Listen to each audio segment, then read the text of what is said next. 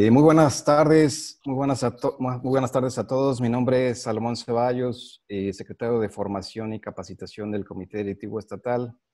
Me da mucho gusto saludarlos. Tenemos eh, personas inscritas de, desde 12 estados de la República. Esta es una herramienta que apenas estamos familiarizándonos todos. Eh, nos da mucho gusto que haya participación de muchos estados. Ha, habido muy buena respuesta a los diferentes programas ofertados por la Secretaría de Formación. Eh, reciben un afectuoso saludo del presidente del Comité Directivo Estatal, Román Cifuentes Negrete, y del secretario general, el licenciado Eduardo López Mares, eh, quien les manda un afectuoso saludo. Y agradecer a Maggie Fisher, secretaria nacional de Formación, por todo el apoyo y asistencia que nos ha dado durante estas semanas de la contingencia. Eh, esta herramienta, pues, eh, no a todos nos gusta la, el tema de estar lejos, ¿no? En, la, en tema de distancia, pero eh, nos facilita que precisamente haya participantes de, de todo el país, nos acorta distancias y este programa va a ser grabado para alimentar el acervo que tenemos de, para formación y capacitación. La idea es que cualquier persona, persona se pueda estar formando constantemente a través de los cursos que va a haber en el propio canal de YouTube que les daremos a conocer vía correo electrónico.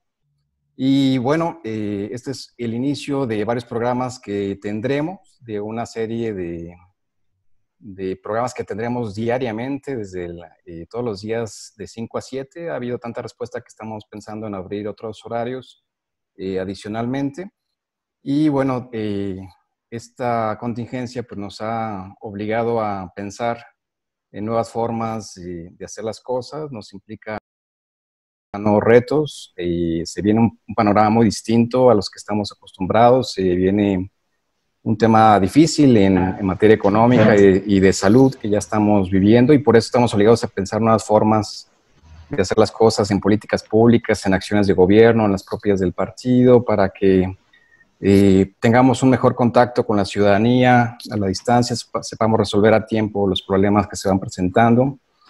Y bueno, hoy tenemos el honor, tengo el honor de presentar al maestro Alfredo Lin Altamirano, que personalmente yo admiro su, su gran trayectoria.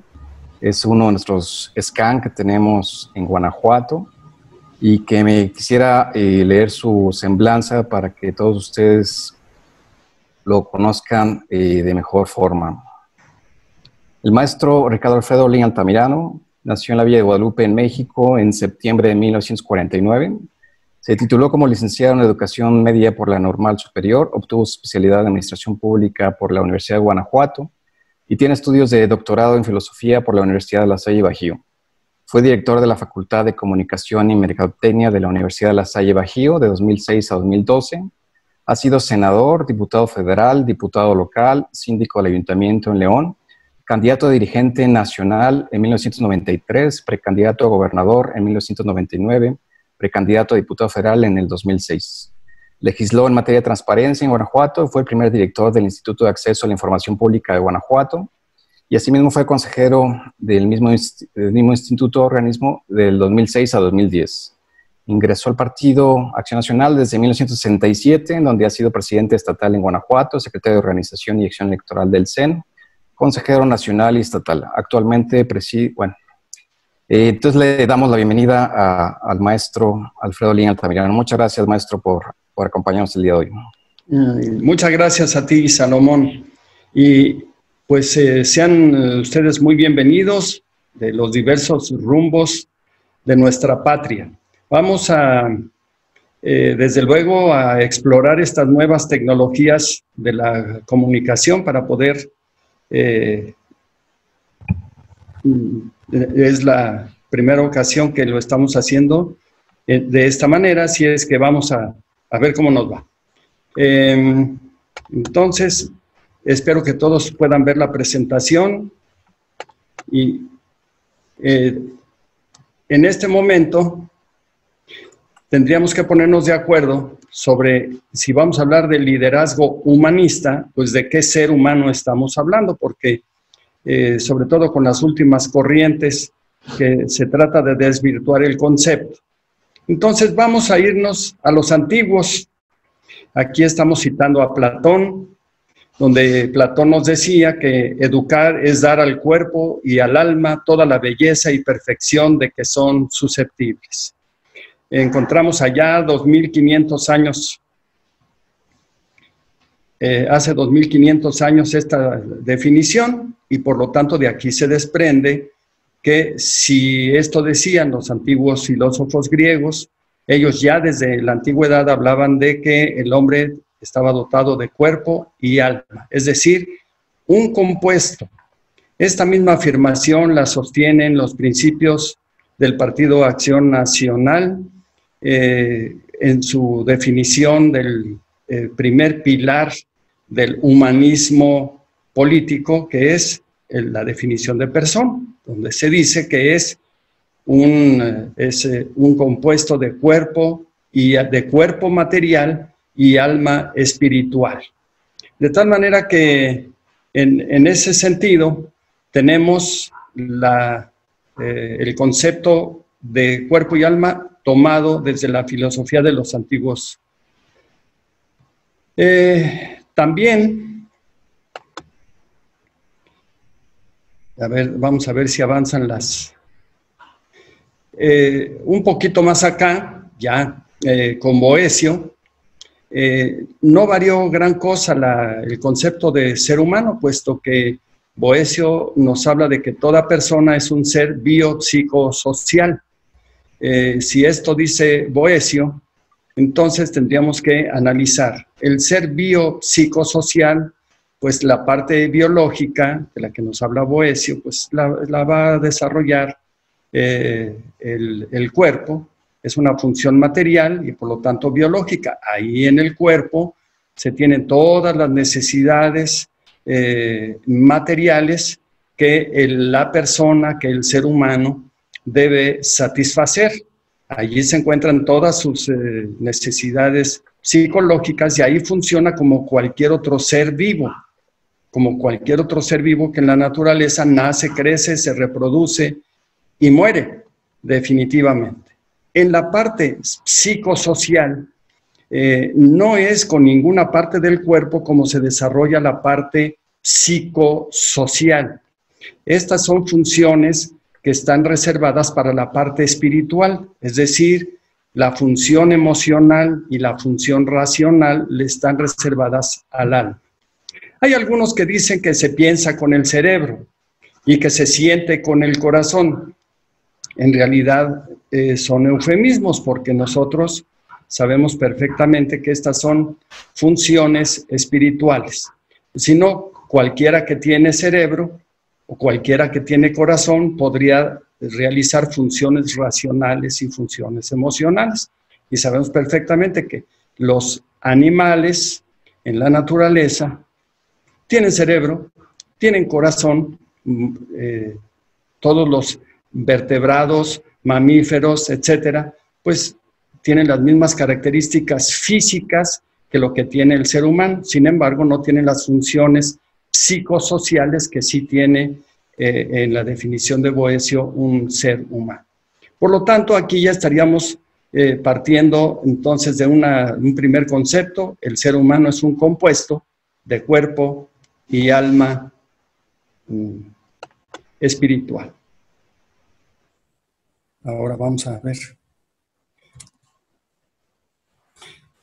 Por lo tanto, la primera distinción entre animal y ser humano, ya a partir de su definición, el animal, el, animal, eh, su conocer, porque los animales también conocen, pero se reduce a la experiencia sensible inmediata y sus apetitos son inmediatos y solo se abren paso al futuro a través del instinto. Entonces, la experiencia sensible de los animales eh, tiene esas dos características, lo inmediato y el instinto.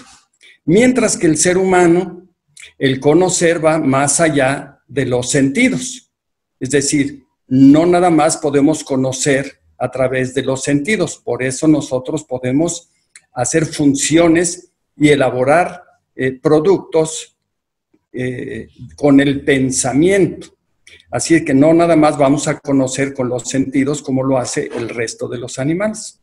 Sí tenemos esa función de conocer con los sentidos como lo hacen los animales. Por eso, en alguna de sus eh, eh, definiciones, Aristóteles hablaba del ser humano como un animal, pero un animal racional, un animal político, un animal eh, social. Animal sí, pero con características eh, que van más allá de la experiencia sensible.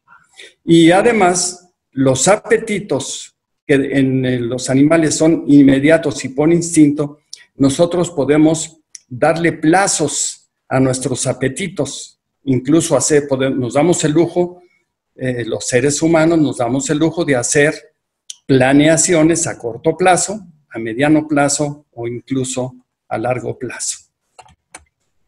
De tal manera que esta diferencia entre animal y ser humano nos lleva a otra reflexión.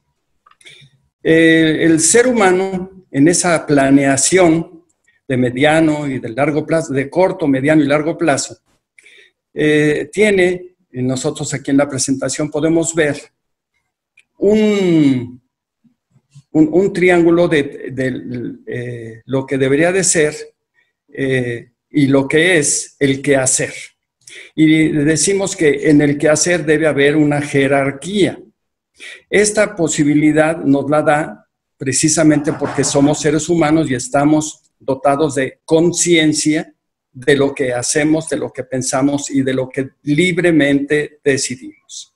Muy bien, pues es eh, del dominio eh, generalizado que el ser hace para obtener. Y esto es una característica de cualquiera de los animales de la creación. Hacen para obtener. Y el problema que estamos teniendo con los seres humanos, que si nos dejamos llevar por simplemente por nuestra, nuestra a instinto animal, vamos a dejar el obtener como el vértice de nuestra pirámide en la jerarquía del quehacer. Mientras que en el triángulo de la derecha, el ser está arriba, de todos modos hacemos para obtener, pero el ser está arriba. Es decir, la jerarquía del quehacer no está en el obtener, sino en el ser. Esto provoca que haya pugna incluso ideológicas. Verán ustedes que, por ejemplo, en el capitalismo, las gentes, las personas valen en el capitalismo según lo que tienen. El rico vale más que el pobre porque tiene más. En el eh, en los colectivismos, el socialismo, etcétera, el hombre vale según lo que produce. Y entonces, eh, no es el ser la, prelación ni de un lado ni del otro. Los dos extremos están equivocados en este tema y precisamente solo el humanismo es el que privilegia la persona independientemente de lo que tenga o independientemente de lo que produzca, es persona y todos tienen la misma dignidad. Por lo tanto, la característica en la jerarquía del quehacer es que por mucho que hagamos y por mucho que obtengamos, debemos de privilegiar siempre el ser. El ser está por encima del hacer y del obtener. Ahora, el hacer para que el ser prevalezca, entonces el hacer tiene que ser con valores. Y todos decimos, bueno, pues eh, yo trabajo para poder tener una mejor casa, eh, quiero ganar más dinero para poder vivir mejor, para comprarme un auto eh, este, con mejores características. No es malo el deseo de vivir mejor, pero es equivocado un estilo de vida que se presume como mejor cuando está orientado a tener y no hacer. Eh, de otra manera, eh, no podríamos darle la misma dignidad a toda persona por el hecho de ser persona si privilegiamos el tener. El que tiene o el que no tiene, tiene la misma dignidad que todos los demás. Todos los seres humanos tenemos la misma dignidad. Este es un principio general que debemos de defender los humanistas. De otra manera, hay una deformación ideológica en, nuestra, en nuestro pensamiento. No se dejaríamos de ser humanistas y, nos, y vamos a privilegiar la cosa sobre la persona. Los humanistas ponemos por encima de la cosa la persona. Por lo tanto, tener o no tener no va a ser determinante para la dignidad. La dignidad es por el hecho de ser persona. Eh, querer tener más, no para ser más, sino para consumir la existencia en un goce que se propone como fin en sí mismo. Eh, si solamente nos vamos a orientar al tener, entonces el goce es un fin en sí mismo. Y los humanistas ponemos al goce, al disfrute de los bienes materiales, pero al servicio del ser. Eso es hacer con valores. Y esto provoca que tengamos un estilo de vida. Es necesario esforzarse por implantar estilos de vida, no nada más vivir, no nada más sobrevivir y no nada más transcurrir. Cuando nos saludamos, ¿cómo estás? Y decimos, pues ahí la voy pasando. Bueno, eso es sobrevivir. Hay que esforzarse por tener un estilo de vida, pero con base en los valores. Sabemos que hay desde los antiguos filósofos griegos y ha sido comúnmente aceptado eh, que los valores universales son tres, la verdad, la belleza y el bien. Estos tres valores universales han orientado los diferentes estilos de vida que han tenido las diferentes generaciones, las diferentes civilizaciones o las diferentes culturas. Pero el verdadero humanista no es el que se queda en la práctica unipersonal, individual de cada uno de estos tres valores, sino que se deben de practicar en sociedad. Aristóteles decía que el hombre es un animal social porque dice que no puede conseguir ni acercarse siquiera a alguno de estos tres valores universales solo, sino que lo tiene que hacer en compañía de sus semejantes. Así que la comunión con los demás hombres para un crecimiento común deben ser también elementos para el estilo de vida. No puede ser un estilo de vida que solamente se, se define por el consumo, por los ahorros o por las inversiones porque finalmente estos estarían determinando a la vida de una persona. Es la vida la que es la persona que tiene que adoptar un estilo de vida que someta al imperio de su voluntad libre todos los aspectos y todos los valores materiales.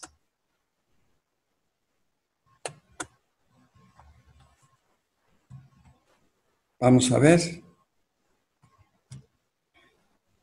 En la que sigue, en la diapositiva que sigue, para poder tener esos estilos de vida, el, ser humano, a ver, necesitamos regresar.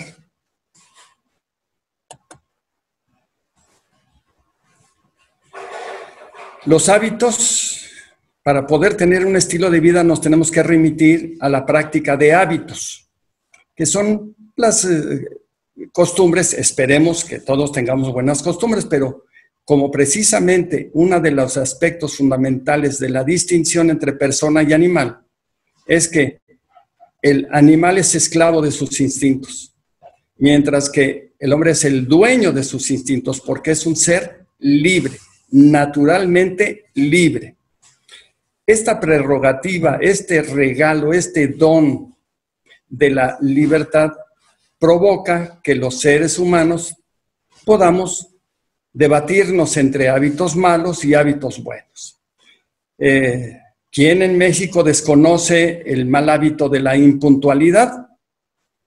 O aquí una breve lista de algunos malos hábitos como el desorden, la violencia, la negligencia, la altanería, el despilfarro, la vagancia, el pandillerismo. Todos estos son malos hábitos.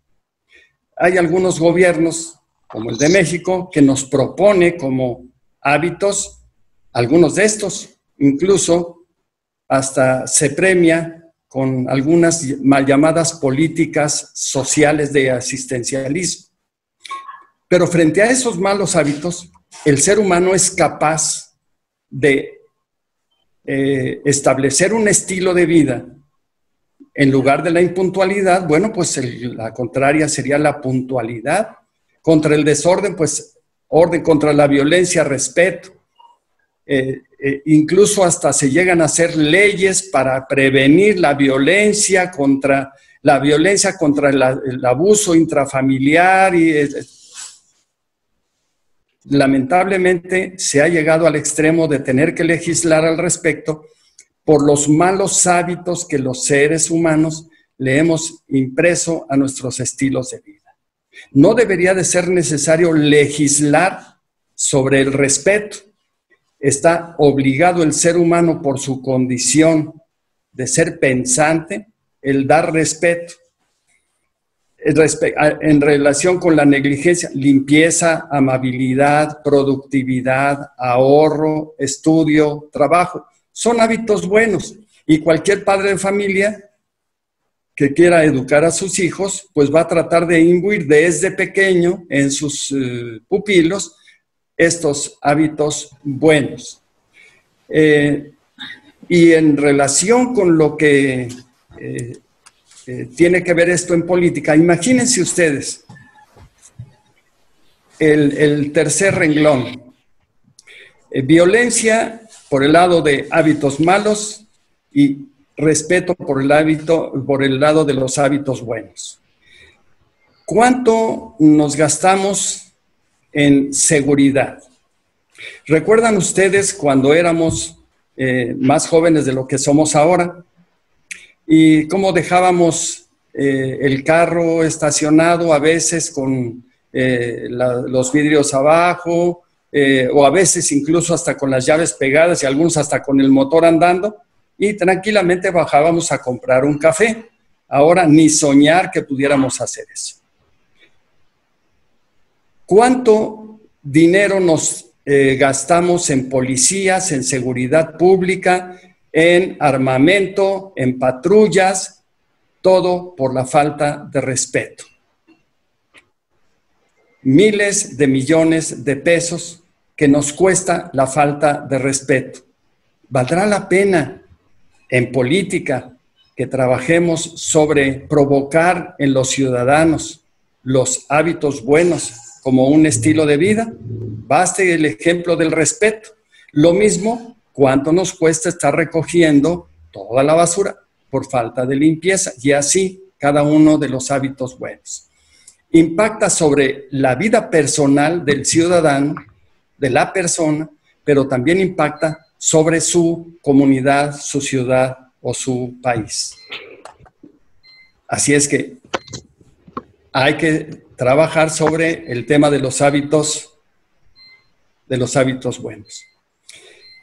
Hay algunos que dicen, eh, eso está muy bien para los eh, moralistas. No, no es un asunto de, moral, simplemente es un asunto de eh, respetar la propia naturaleza pensante de nosotros los seres humanos. Miren, sin ética, sin estos principios, sin estos valores, lo único que vamos a provocar pues es la mezquindad, el egoísmo, la mediocridad.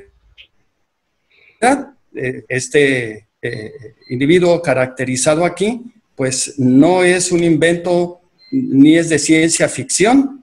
Este, ustedes han visto varios personajes que se asemejan bastante y que no son una simple caricatura, sino que son el producto de una eh, política totalmente apartada de los valores. Em,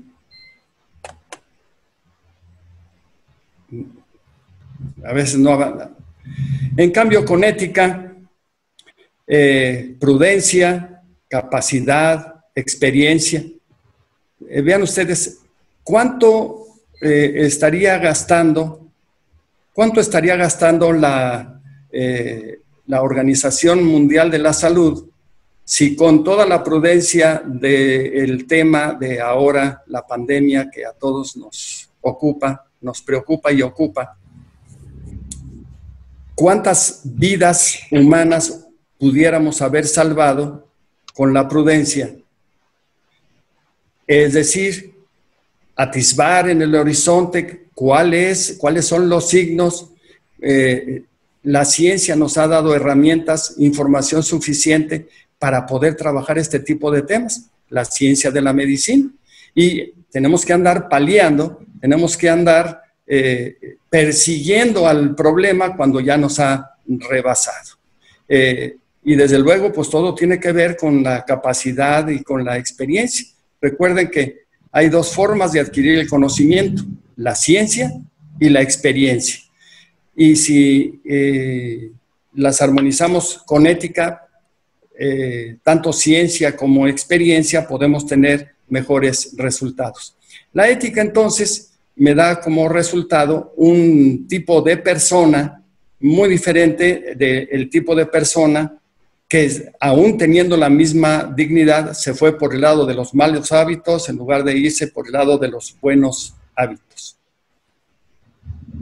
En la siguiente diapositiva a ver, parece que no. Vamos a ver. Este. ¿Cuál puede ser eh, eh, un punto de, contacto? Porque seguramente que los relativistas nos van a decir, bueno, eso es relativo. Yo tengo mi propia jerarquía, yo tengo mi propia manera de pensar y a mí la libertad se me da para hacer lo que se me pega la gana, en un erróneo concepto de libertad. Todos sabemos que la libertad se puede usar o también la libertad se puede abusar. Se usa la libertad para de dos bienes escoger el mejor, el mayor de los dos bienes, porque escoger entre el bien y el mal sería o libre albedrío o de plano libertinaje. Y por lo tanto tendríamos que remitirnos a un orden natural. Y empezaríamos ese orden natural por lo que tenemos a nuestro alrededor.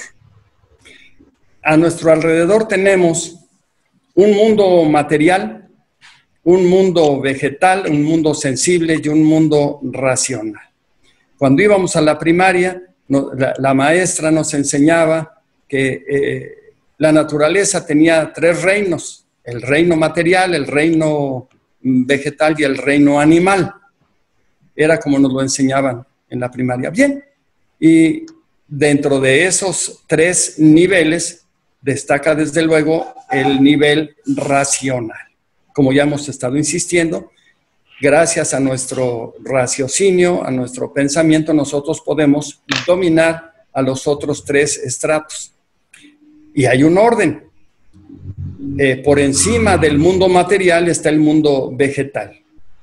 Eh, el creador ha dispuesto que los vegetales se alimenten de los minerales. Son los vegetales los que a través de sus raíces toman de lo material, toman de la tierra los alimentos para su sustento.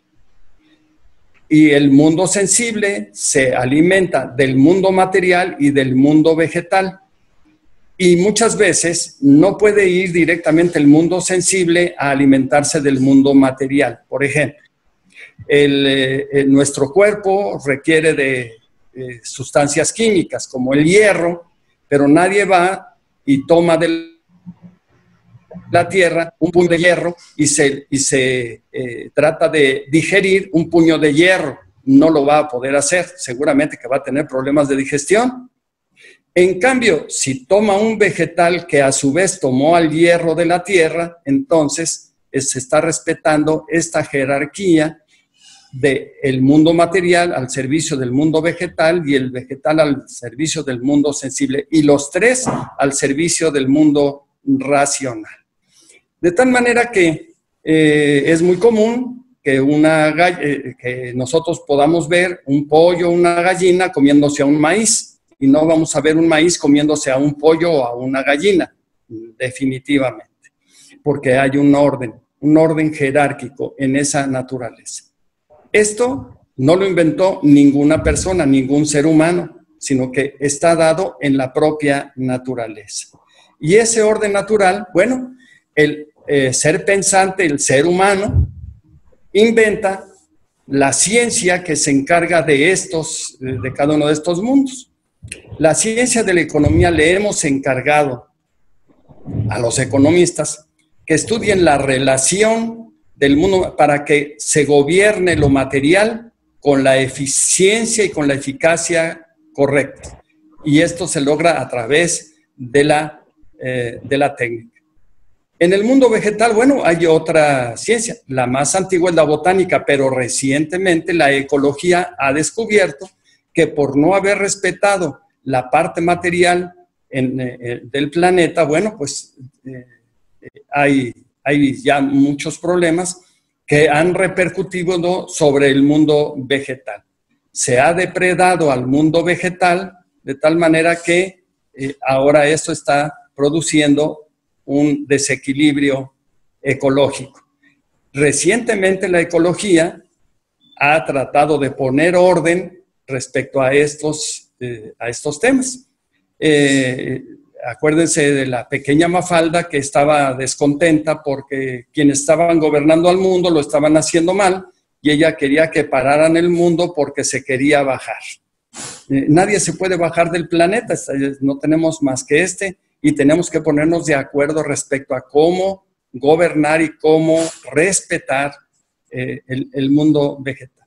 En, en cuanto al mundo sensible, bueno, el tema de la medicina y de la zootecnia, que hacen posible que eh, los seres eh, animales, en términos generales, tengan sus hábitats, que se respeten las especies que lamentablemente algunas ya no solamente están en extinción, sino que de plano se extinguieron, pero se ha detectado algunas otras y a través de, la ecología y de la zootecnia, algunas de estas, eh, de estas especies ahora están siendo rescatadas para que no se extingan definitivamente.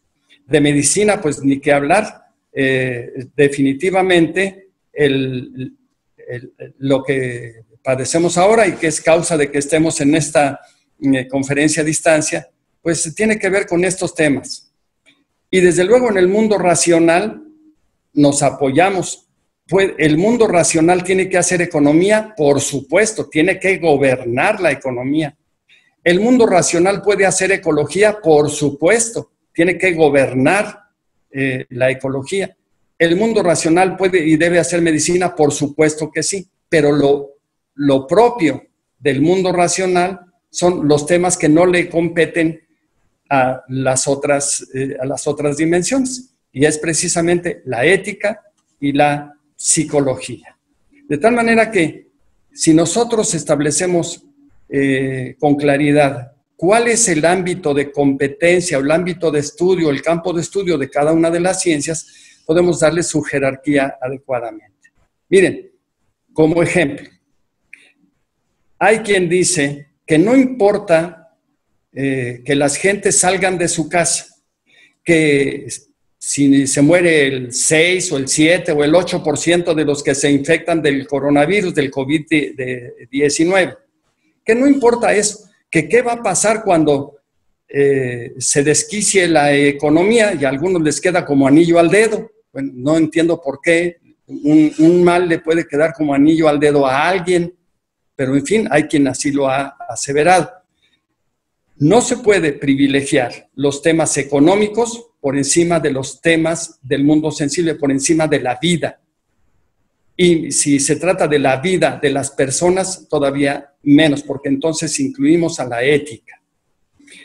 El criterio económico que está en el ámbito del mundo material no debe gobernar los criterios de la ética. Por encima de la economía está la ética, porque el mundo racional es quien gobierna a los otros tres ámbitos. De no hacerlo estamos violentando el orden natural desde el punto de vista jerárquico y desde el punto de vista ético de cada uno de los, de los ámbitos. Así es que hay quien dice, hay que seguir eh, yendo a las fondas y hay que este, seguir eh, consumiendo y hay que hacer nuestra vida, porque el, el, tema, si se arriesga la vida, no importa, porque si se paraliza la economía, entonces vamos a tener problemas. Bueno, lo primero es salvar vidas y después, en segundo término, es cómo hacemos para reactivar la economía o qué otros elementos tiene el mundo racional para no desequilibrar el mundo de la economía por defender al mundo sensible de, la salvación de las vidas. Es decir, que esta eh, jerarquía que estamos viendo en el, desde el orden natural nos eh, impacta directamente. Ahora, peor aún, cuando entre dos vidas de la misma naturaleza, del mismo nivel, se privilegia a unas y se prefiere a unas y se castiga a otras, se discrimina a otras. Es el caso de la guía que se acaba de eh, supuestamente emitir por parte de nuestro gobierno eh, federal respecto a que en, eh, llegando al hospital, si hay que salvar, si está en, en dilema, salvar la vida de un viejo y salvar la vida del joven, hay que salvar la vida del joven. Esto y nos pretenden engañar diciendo que es por criterios internacionales y no es cierto. En ningún criterio internacional dice que hay que salvar al joven por arriba del viejo. Tampoco dice que hay que salvar al viejo por arriba del joven.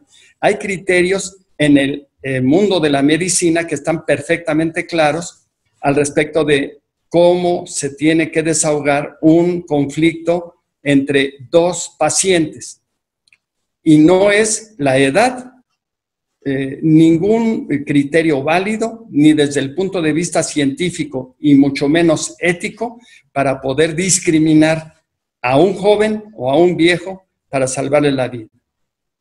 Hay entonces que poner en orden eh, estos conceptos para poder eh, tener las decisiones. continuamos. En el, entonces, de las actividades que tienen que hacer las personas, tenemos que hacer las personas, bueno, pues tenemos que aplicar la técnica. Tenemos que gobernar el mundo de lo material, por supuesto que lo tenemos que... Y por eso tenemos que construir carreteras, puentes, máquinas, publicidad, prensa, todos estos medios que son, desde eh, que son gobernados por la técnica. Aquí en la eh, imagen se presenta un, eh, digamos, un desafío a la ley de la gravedad. Cualquiera diría, bueno, este, en cualquier momento se cae, esta es la torre inclinada de Pisa, ¿verdad? Sin embargo, pues los técnicos eh, dominaron el conocimiento del centro de gravedad y mientras el centro de gravedad no salga de la base, la torre de Pisa quedará en pie. Claro, más vale no ir a darle un empujoncito, ¿verdad? Pero entonces el tema de, la técnica que nos eh, obliga a hacer carreteras, sí, las mejores carreteras, los mejores puentes, las máquinas. Todo esto nos va a ayudar para poder, para poder continuar con el, el, progreso y el desarrollo de, de, las, de la sociedad. Precisamente para eso fuimos dotados de pensamiento para poder ver más allá de lo que los simples instintos nos pudieran dar. Aquí tenemos algunos ejemplos de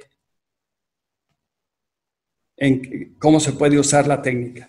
Por otro lado, la ciencia, decíamos, para poder adquirir conocimiento, o bien es la experiencia o bien es la ciencia.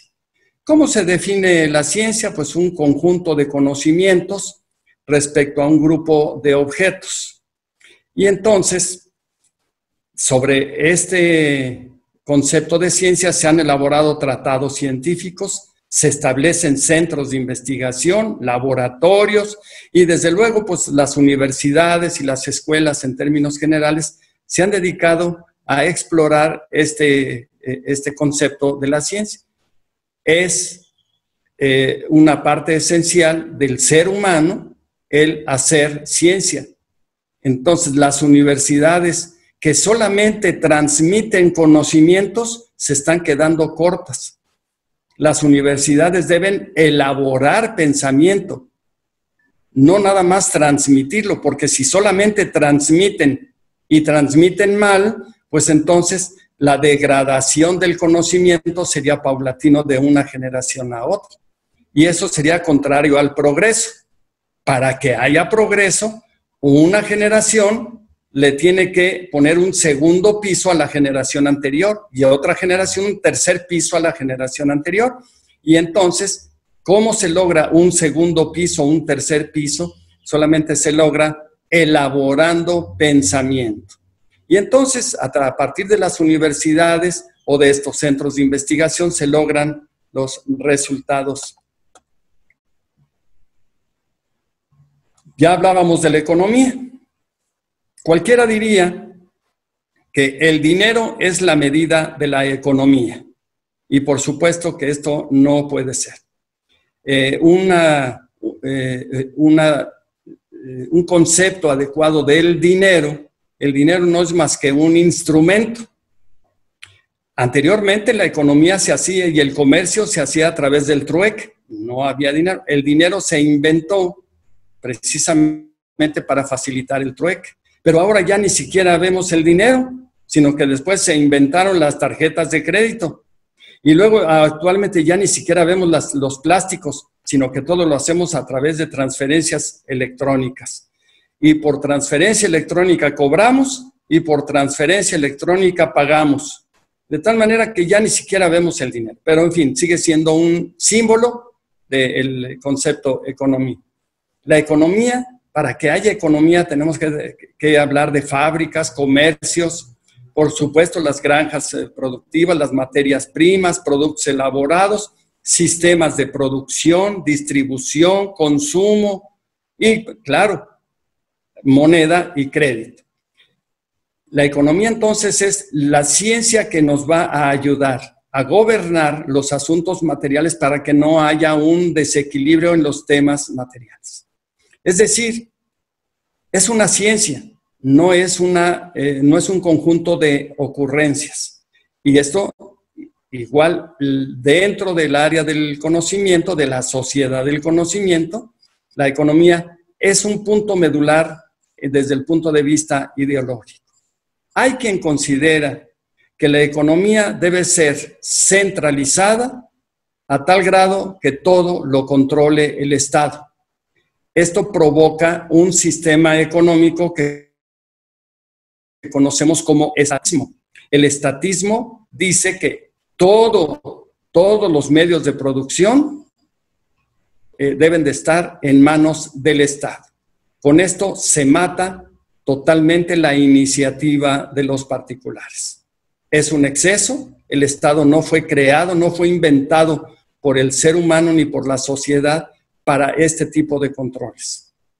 Pero en el otro extremo está el Estado casi debería desaparecer y no debería de producir absolutamente nada y solamente considerarse como el árbitro de las libertades de los particulares.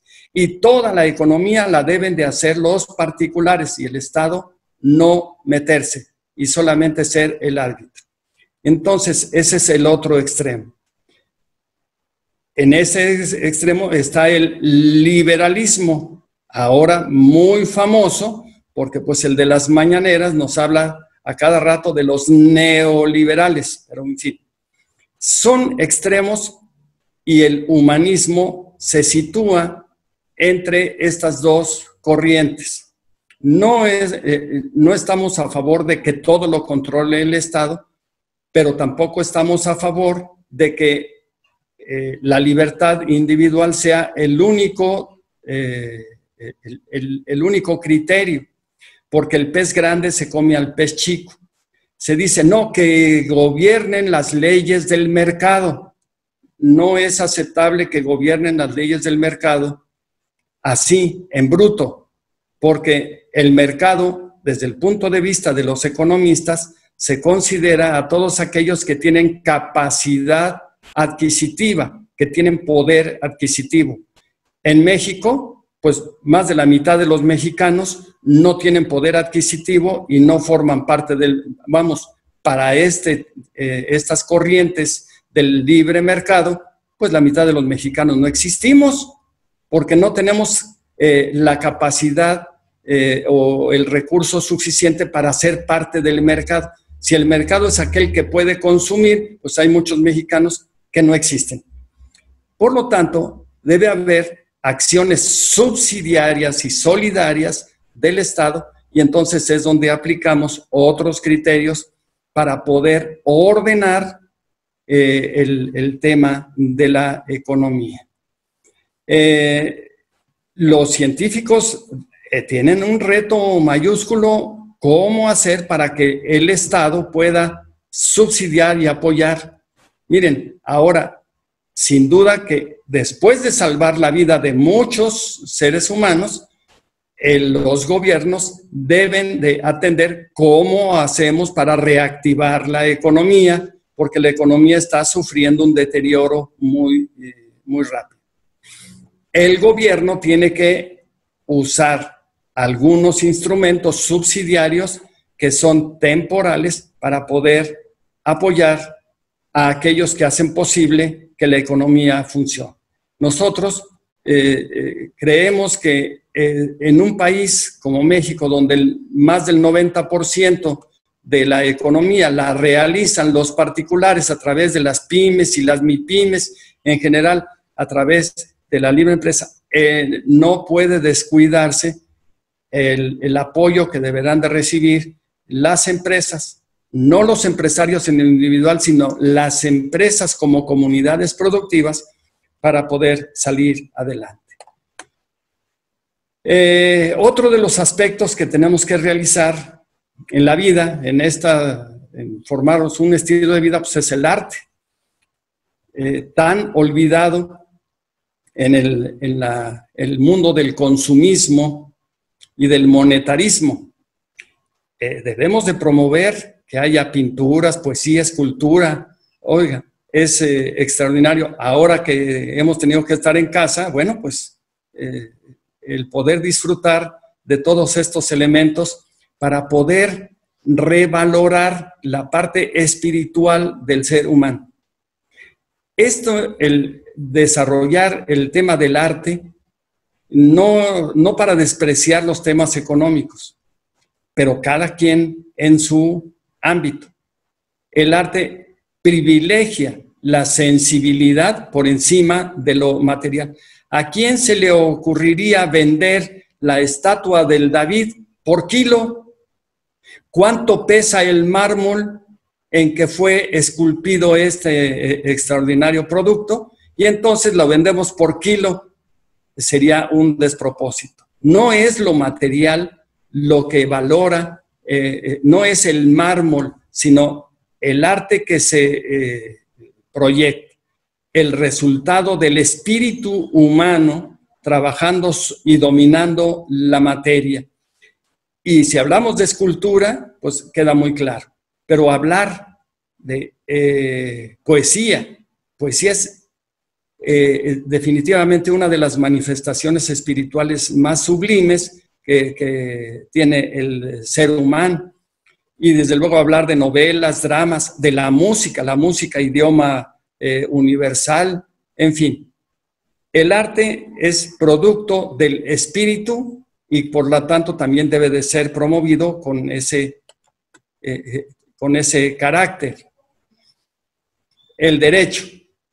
El derecho es otra de las ciencias que a nosotros nos obliga a estar al día a día.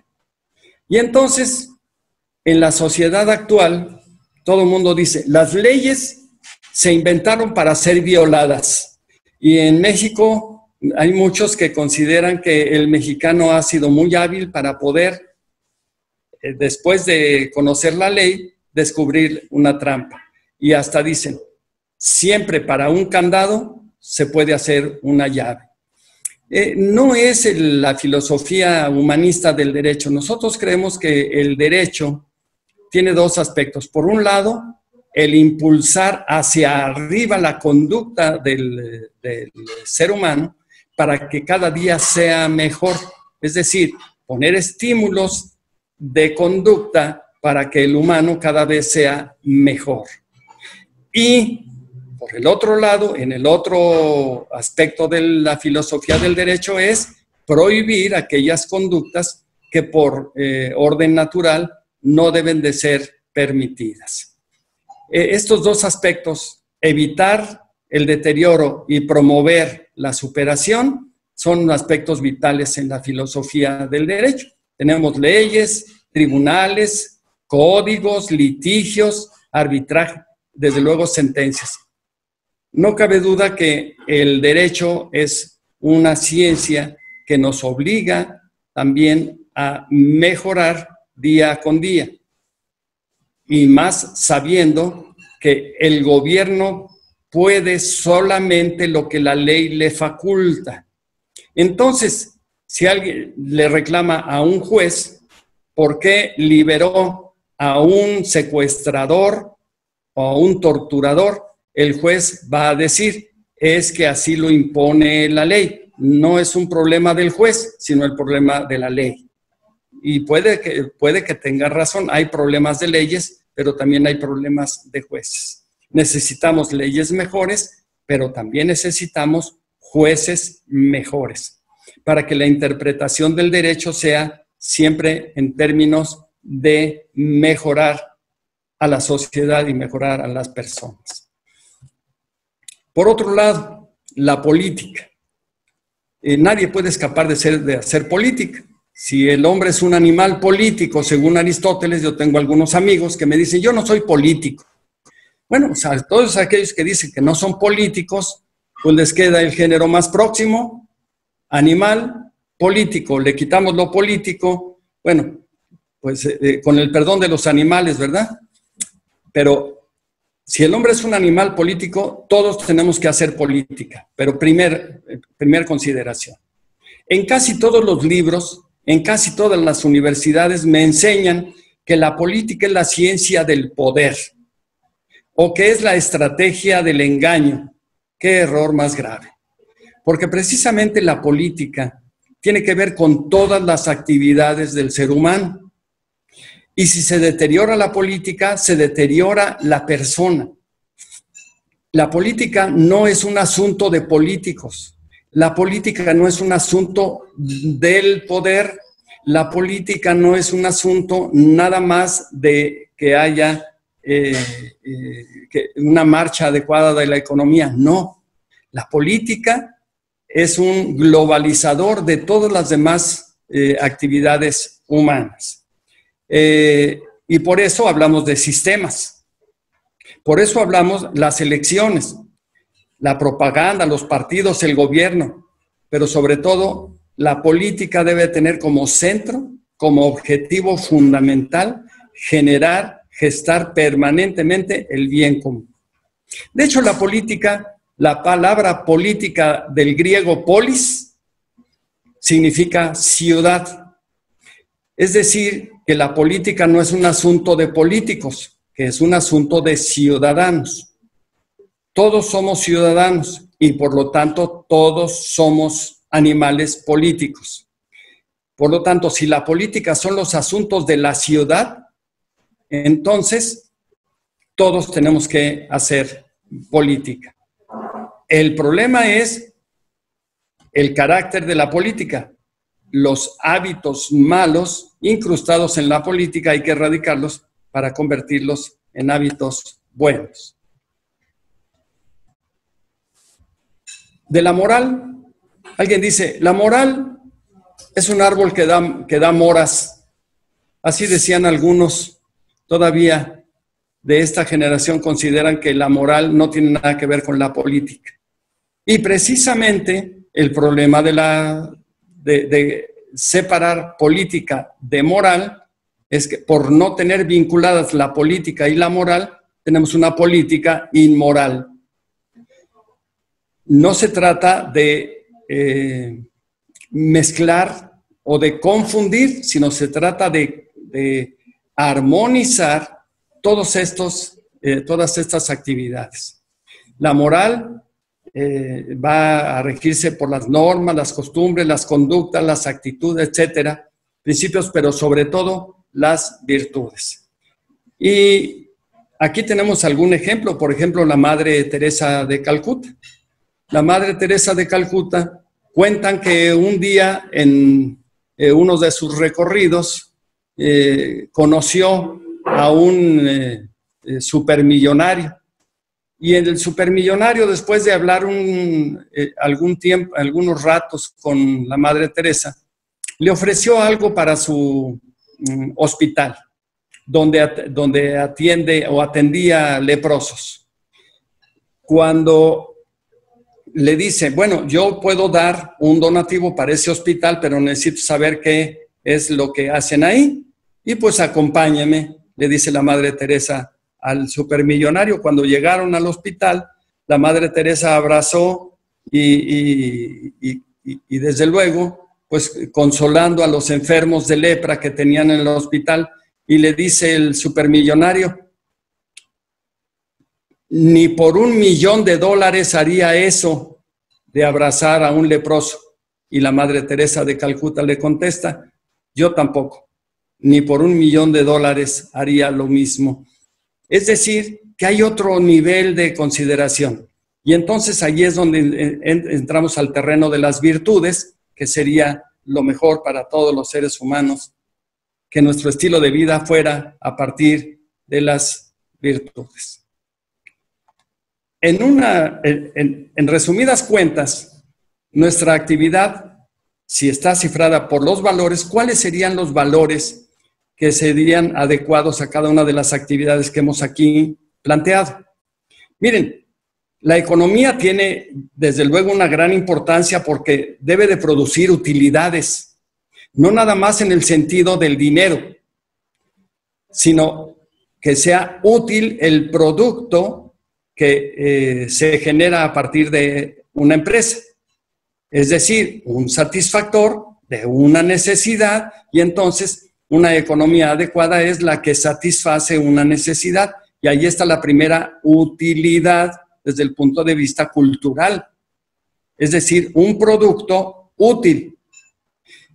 Eh, no se trata de conseguir ganancias con productos inútiles. Es decir, si a los que producen eh, alimentos chatarra les va muy bien, no por eso son útiles. Ese tipo de economías no producen tanto bien como aquellas que producen satisfactores que son útiles a la sociedad. Esto nos lo ayuda a estudiar la ciencia de la economía y se recomienda estudiar cuáles son los nichos de mercado con base en la utilidad. Así es que utilidad es un gran valor que debemos de darle a las empresas. Em, necesitamos empresas que sean útiles, que tengan utilidad y la primera utilidad de una empresa es el salario de sus trabajadores, no el bienestar del empresario. En México tenemos fama de tener empresarios ricos y empresas pobres.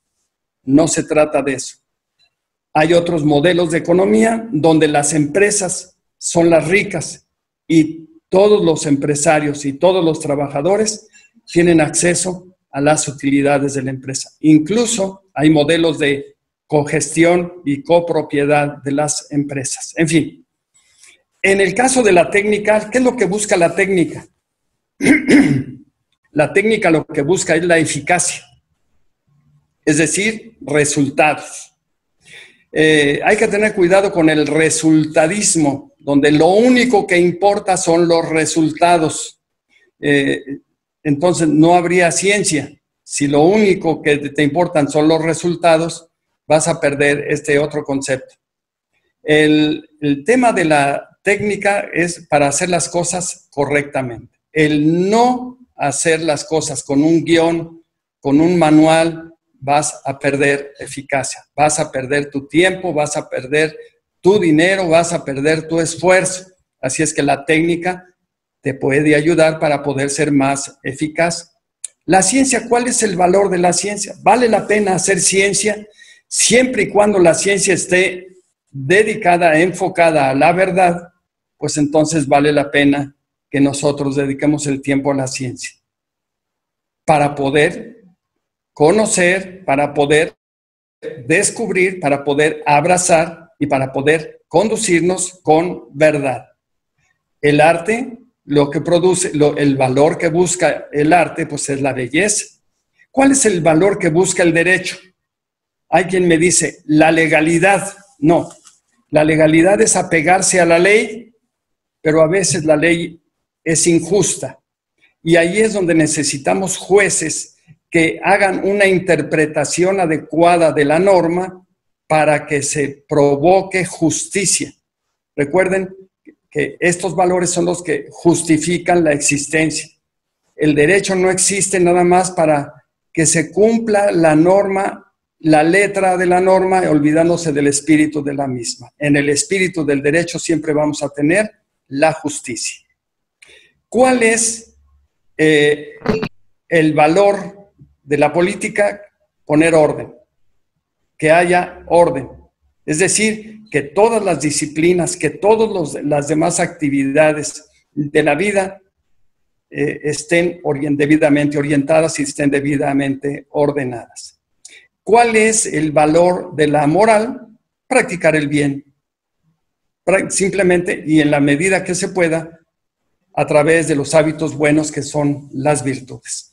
Ahora, hasta aquí, pues podríamos, podríamos estar o no de acuerdo, de acuerdo, según nuestra filosofía que tengamos de la vida, pero si queremos ser humanistas, ahora a esto habría que agregarle el sentido práctico de las cosas. Vamos a ver. ¿Cómo actúa un líder humanista? ¿Qué hace un líder humanista con todo esto que hemos eh, aquí comentado? Bueno, pues relacionar los valores de los que hemos hablado. Por ejemplo, no podemos nosotros desvincular una cosa de la otra. Utilidad en la economía con la justicia del derecho. Pueden estar relacionadas estos dos, podemos relacionar la economía y el derecho, podemos relacionar el valor utilidad con el valor justicia. ¿El líder humanista puede hacer esto?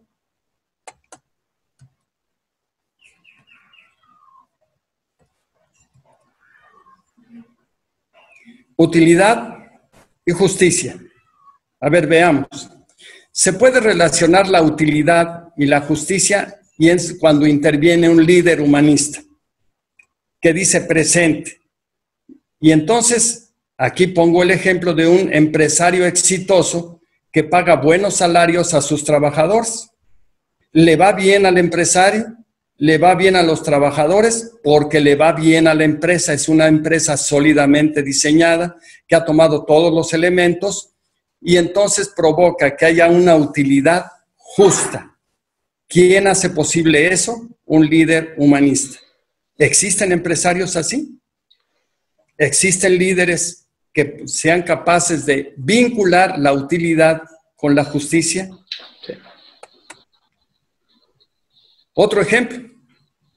¿Se puede relacionar la belleza con la utilidad? Porque luego muchas veces alguien dice que la belleza es inútil, que no tiene caso, que no sirve para nada, que no tiene ninguna, ninguna eh, eh, ventaja, ningún beneficio. Y entonces, ¿cómo podemos relacionar el arte con la economía? Hay quien dice, yo dejé de practicar el arte, tenía yo vocación mm, para cantar ópera, pero me dediqué a cantar ranchero porque pues allá no, etcétera, etcétera. ¿Se puede o no se puede relacionar la belleza y la utilidad? Vamos a ver qué dice un líder humanista.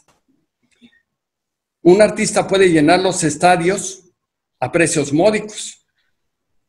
Ah, desde luego. El artista que llena los estadios a precios módicos es un artista sensible.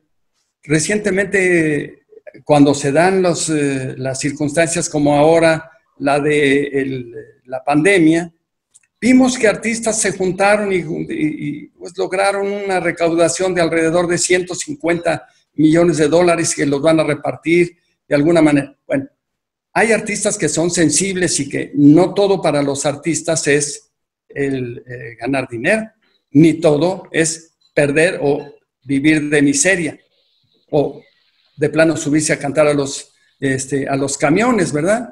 O de plano este, sobrevivir por lo que la limona que le dan en el metro. No, la belleza puede ser útil y hay que encontrar la forma de que haya líderes humanistas que logren que la belleza sea útil.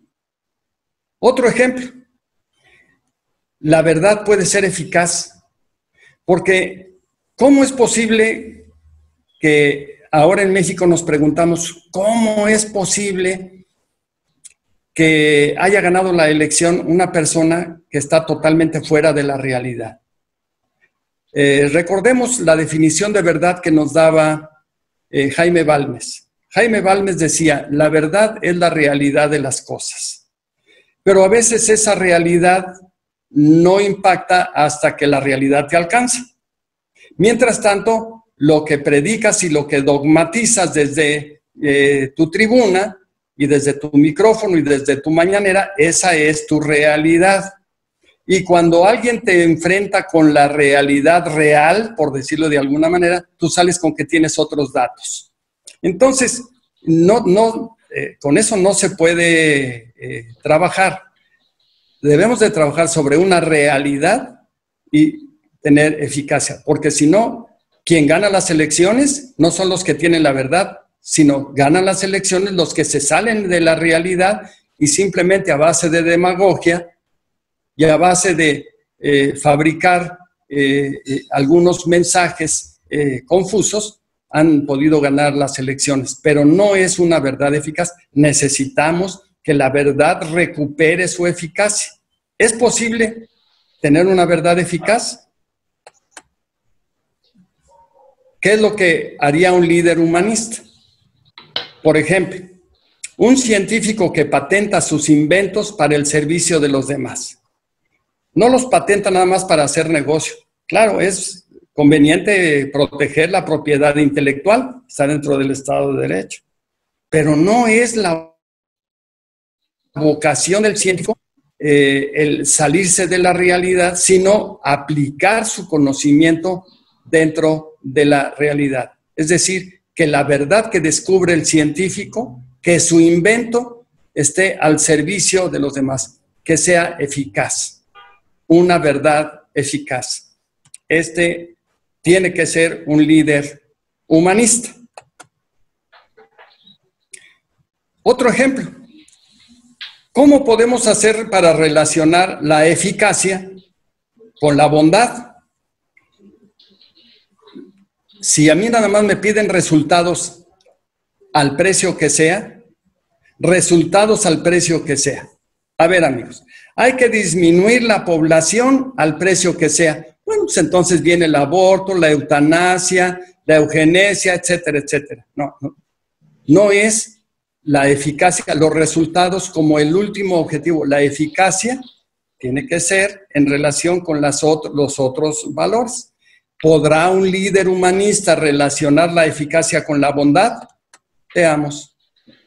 Un médico que utiliza el bisturí con principios éticos, esa es una eficacia buena. Es decir, un médico que sabe salvar vidas y que usa sus conocimientos para obtener resultados, no para obtener dinero, no para comercializar, sino para hacer un servicio y para eso debe poner el bisturí, su instrumento, al servicio de la ética. Entonces tenemos un líder humanista. Es posible una eficacia en relación con la bondad.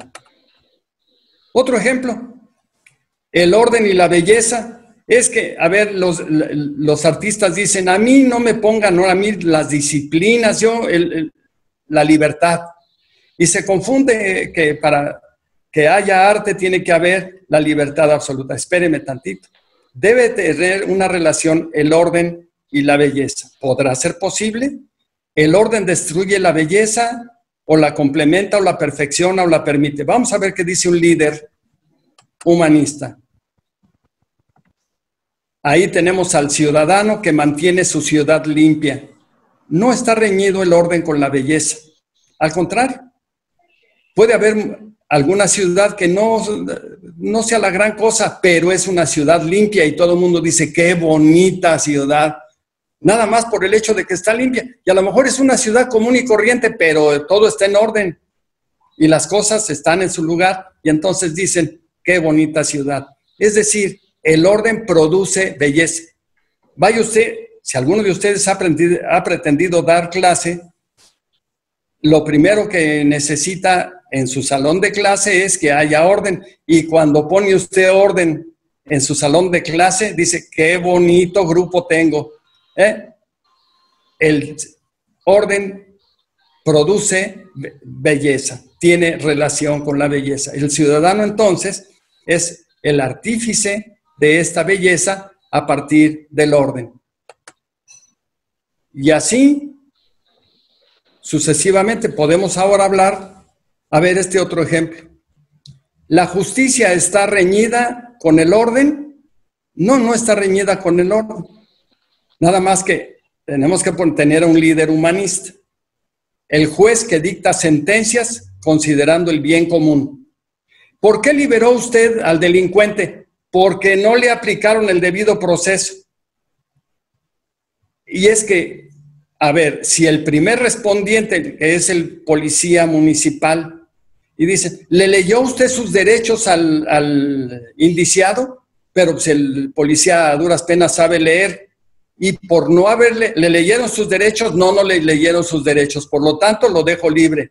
Bueno, y es, así está establecido en la ley, qué bueno que lo diga la ley pero qué lástima que no haya jueces que sean, eh, que tengan el criterio suficiente para poder dictar sentencias, no nada más considerando la letra de la ley, sino considerando en todo momento el bien común, es parte de su chamba. Entonces, una justicia que busca el orden, recordemos que la paz es fruto de la justicia. Por tantas injusticias tenemos impunidad y por tanta impunidad tenemos desorden. ¿Qué necesitamos? Regresar a la justicia para poder recuperar la paz y el orden. A ver. Otro ejemplo. La bondad y la verdad. ¿Cómo se relacionan? Padres y madres de familia que respetan y colaboran con la escuela de sus hijos. Una bondad verdadera. Es decir, escuelas que realmente cumplan con la formación de los, eh, de los chamacos. Familias que respetan a las escuelas y escuelas que respetan a las familias. necesitamos líderes humanistas que estén relacionando. Otro ejemplo, orden y justicia. Un político que debe establecer orden respecto al derecho que debe establecer justicia. Relacionar estas dos. ¿Será posible que haya política y derecho para que haya orden y justicia? Un orden justo. Pues ahí necesitamos a un líder humanista, que es el político que gobierna con respeto al Estado de Derecho y no por ocurrencias. ¿Cómo es posible que se someta a una consulta patito una inversión de más de, de 1.300 millones de dólares en la frontera de nuestro país, simplemente porque no le parece, porque son inventos de los neoliberales. No es eh, posible que haya orden justo de esta manera. Hay que provocar que el orden que se pretende sea siempre con justicia. Y para eso necesitamos relacionar la política que busca el orden con el derecho que busca la justicia. Así pues, en resumidas cuentas, amigos, espero que me hayan seguido y que no se nos hayan eh, ahuyentado la audiencia. Creo que estamos todavía un buen número. El liderazgo exitoso es el que provoca unidad en el grupo, no nada más una unidad en pensamiento, sino unidad en la acción porque es posible que podamos coincidir en el pensamiento, en lo fundamental, pero luego cada quien agarrar por su lado. No es así como vamos a provocar la unidad. La unidad es en pensamiento y en acción. Debe seguirse esa misión, esa llamada con pasión, sabiendo que esto es por amor a México y por amor a mi ciudad, por amor a mi estado. Y se tiene que trabajar con pasión, no por dinero. Si solamente lo hacemos por dinero, pues nos convertimos en eh, comerciantes o en mercaderes de eh, nuestra misión. Mensaje. Un líder debe tener mensaje y para poder dar los mensajes adecuados debe tener formación y también debe de tener información. Debe leer mucho, debe basarse. Leer no nada más eh, las redes sociales, debe de estar consultando las fuentes debidamente informadas, las fuentes oficiales. Y desde luego tiene, debe, tener una formación, por lo menos eh, a través de, su, de la ciencia o de la experiencia, pero sí debe, de tener eh, eh, un espíritu de líder formado para poder conducir la vida de los, de los semejantes. Estructura debe tener seguidores, uno de los grandes líderes que ha tenido este país, que era el Manuel Cloutier, dice yo, mientras tenga un grupo de seguidores, yo voy adelante hasta donde mis seguidores me lo permitan. Eh, se requieren seguidores para poder ser líder, indudablemente. Recursos. Todo el mundo habla de los recursos financieros, pero los recursos más importantes que debe tener un líder es un líder exitoso es precisamente los recursos humanos. Y eso se logran con el ejemplo.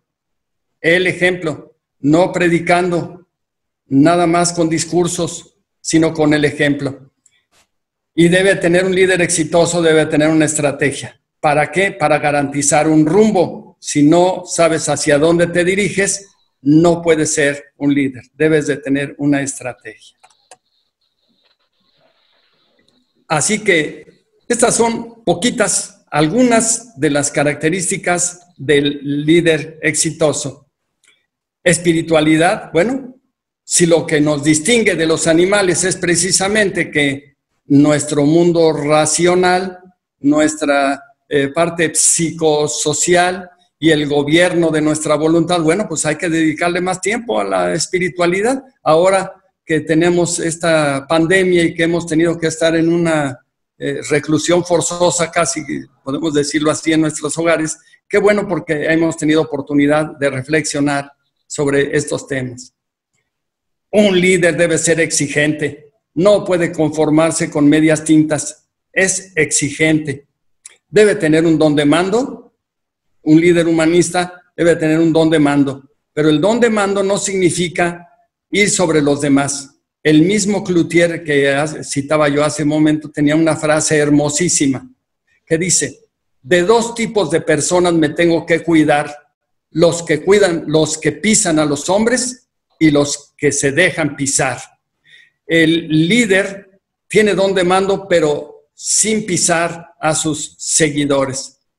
Debe tener merecimiento, debe tener el mérito. No es gratuito, ser líder no es un asunto gratuito, hay que trabajar para poder, eh, eh, para poder ser líder.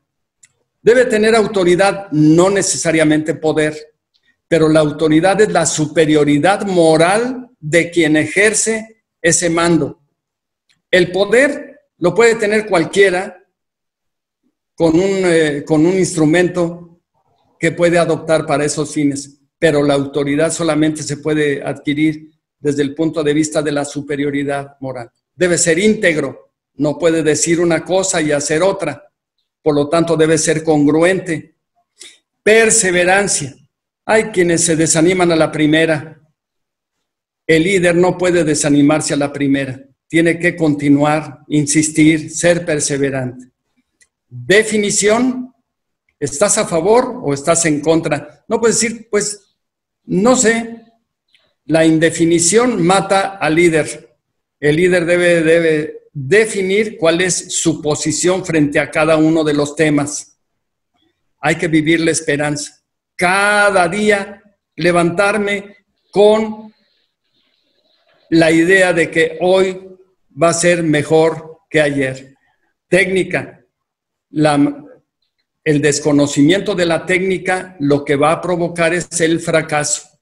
El que no domina la técnica va a fracasar. Para poder ser exitoso necesitas tener técnica. Investigar antes de comprometerte. Y el esfuerzo, no solamente el resultado, el esfuerzo de un día más otro es lo que va a lograr el resultado. Negociador ético. No siempre, el líder no siempre va a tener la razón, puede estar equivocado, pero entonces a la hora de negociar, el líder debe de poner por encima de, de cualquier otra cosa la ética. No se puede negociar principios, no se puede negociar ni, ni tramitar decisiones que vayan en contra de la ética. Con ética todo, sin ética nada. Luchar, solo está derrotado aquel que ha dejado de luchar. Y hay que hacer valer las convicciones. Abnegación para que no sea mi voluntad la que se imponga, sino que sea necesariamente el trabajo de todos. Y hay que trabajar contra la barbarie, contra el desorden. Este problema de la cuarta transformación, que más bien es una transformación de cuarta, lo único que está provocando es que haya una barbarie. Hay que, eh, nos están provocando un retroceso y que cuando termine todo este problema de la pandemia, nos vamos a eh, topar con que no necesariamente va a ser un mejor México, sino probablemente sea un México con más problemas de los que teníamos antes de que viniera eh, las restricciones. Y en resumidas cuentas, pues moralizar la política. Es importante para poder revertir todo el rezago que tenemos en política. Y a propósito, cierro con una eh, frase hermosísima de Rafael Preciado Hernández, quien decía, la verdadera política, lejos de estar reñida con la moral o ser independiente de ella, está sometida a la moral. Por eso el problema número uno de México consiste en moralizar la política y a los políticos. Pues eh, yo les agradezco y ahora eh, la gracia del comité que nos hicieran favor, que nos hicieran favor.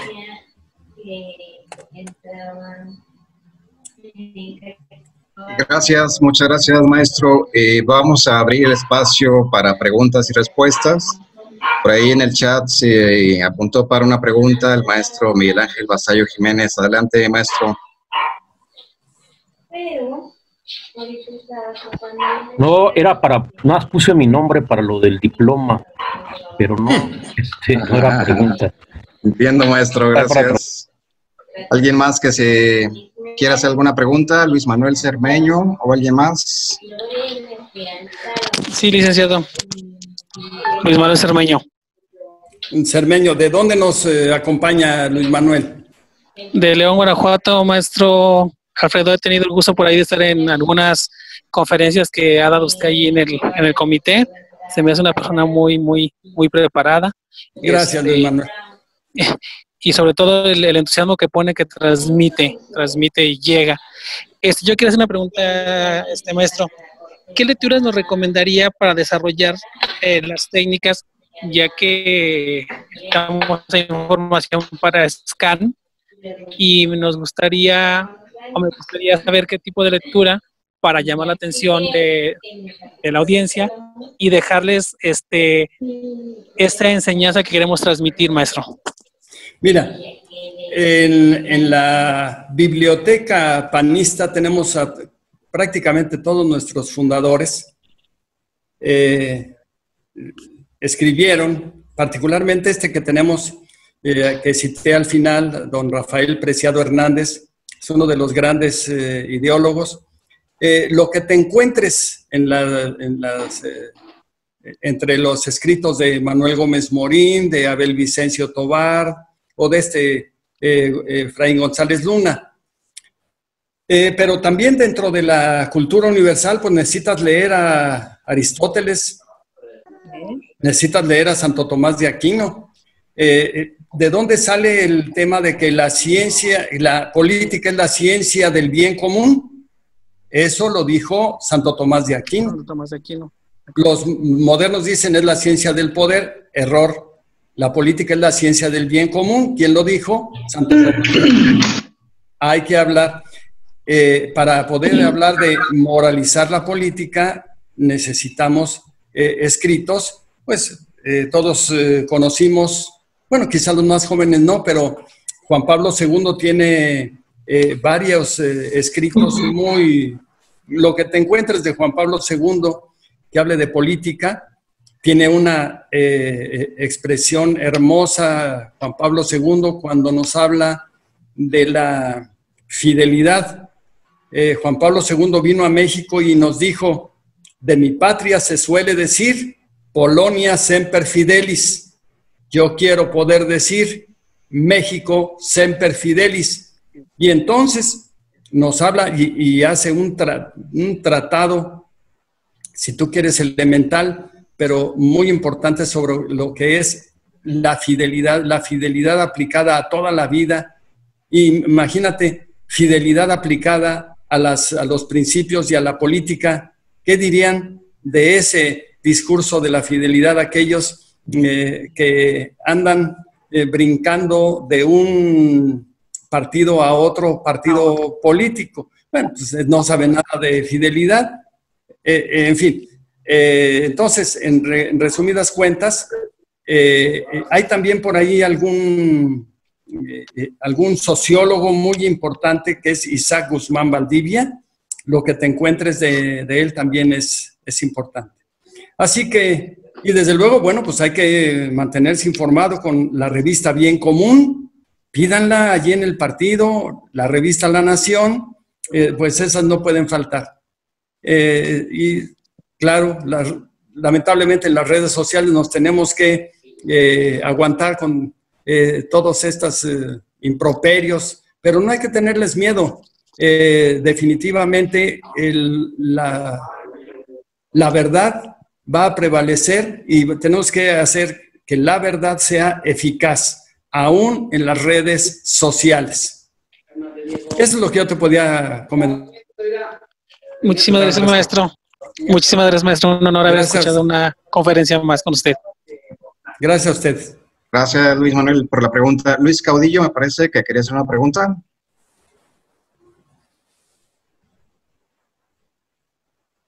¿O alguien más?